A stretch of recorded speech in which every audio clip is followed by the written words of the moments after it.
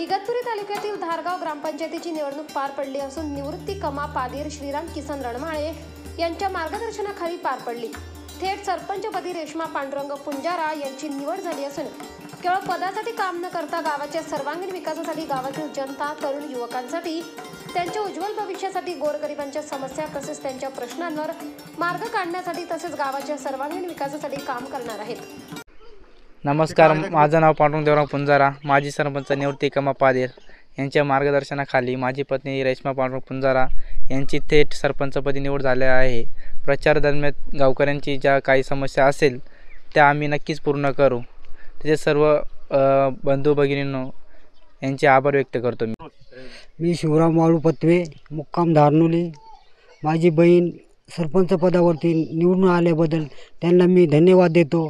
हे दोन शब्द बोलून मी माझे भाषण संपवतो. नमस्कार माझं नाव सोमनाथ देवराम पुंजारा तालुका इगतपुरी जिल्हा नाशिक. मुक्काम धारगाव.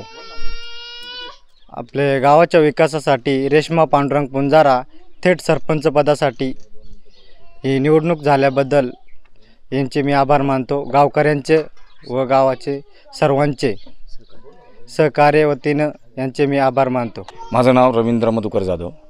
इगतपुरी तालुक्यातील धारगाव या गावात थेट सरपंचपदी निवड झाल्याबद्दल रेश्मा पांडुरंग सोनवणे ज्यांना सगळ्या गावकऱ्यांच्या वतीनं मी त्यांना अभिनंदन करतो. नाशिक लोकशाही न्यूज ब्युरो रिपोर्ट नाशिक.